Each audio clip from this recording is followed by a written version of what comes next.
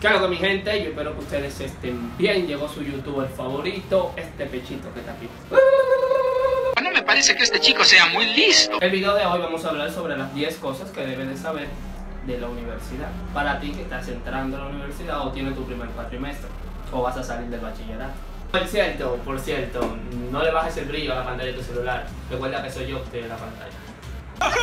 ¡Qué divertido es ese hijo de perra! Lo primero que te puede suceder es que un profesor o una profesora te mande a comprar un libro que sin ese libro tú no puedes pasar la materia en una librería tal. Y cuando lo vas a comprar el libro y te dan tu libro, te dan cuenta que el profesor es el autor de ese libro. Oh, magia. ¡Que vive el capitalismo! ¡Uh! En la universidad te encontrarás personas con diferentes caracteres, características, perdón, y personalidades y pensamientos también. Y te darás de cuenta sobre aquella teoría que dice que la estupidez es más infinita que el universo. Paciencia. ¡Te mamó! Lo que sigue, yo creo que lo has vivido ya en el bachillerato, en tus estudios anteriores. Como la universidad también es un lugar de aprendizaje donde tú vas a adquirir conocimiento, aprenderás más de la vida del profesor que de la materia en algunas ocasiones. Encontrarás personas maravillosas, o sea, un buen grupo de personas que te ayudarán a pasar la materia. Un ejemplo, si no puedes ir a la uni por es razón de salud, ellos te pondrán presente o tratarán, o tratarán de poner excusa al profesor, te mandarán la tarea. Tampoco abuses, tampoco abuses. ¡Te mamó! El día que vayas a inscribir tus materias por la, a la plataforma de la universidad, te aseguro, te lo aseguro, que de 10 casos, 9 se te va a caer la plataforma. Un saludo a mi gente de ustedes ahí. Salud.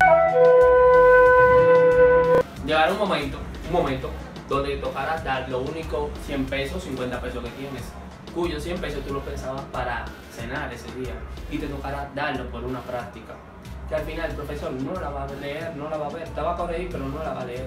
Sería como un sacrificio por la D del futuro que el hambre de hoy. ¿Qué lo que, guau?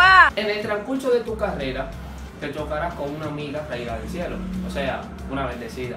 Una amiga bendecida es esta típica chica, bien bonita, bien cuerpona, que no trabaja, que nada más estudia, tiene carro propio, vive sola, también tiene un viejo que ella le dice papi, pero no es su padre. ¡Hijo del diablo! Siguiendo con otra cosa, vamos a seguir con tu amiga bendecida. Ella no estudia, nunca lleva a la práctica y por misterio de la vida también pasa. Oh. ¿Entiendes, verdad? Hmm, temo que no. No todo de la universidad es malo. También vas a tener un buen compañero que toda la semana, antes de entrar a la clase, te mandará estos tres mensajes. Hola.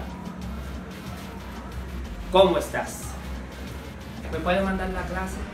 Y hasta aquí el video de hoy. Yo espero que este video le ayude en su inicio de su carrera y que le vaya muy bien en su carrera. También espero que se hayan entretenido y se hayan reído un poco. Les pido de por favor que se suscriban, que le den like, que lo compartan con todos sus amigos en todas sus redes sociales. Mándaselo a todo el mundo si tú quieres. Recuerden también que subo video a veces. puede ser, Subo video a veces. Y hasta la próxima semana o el próximo video, como tú quieras.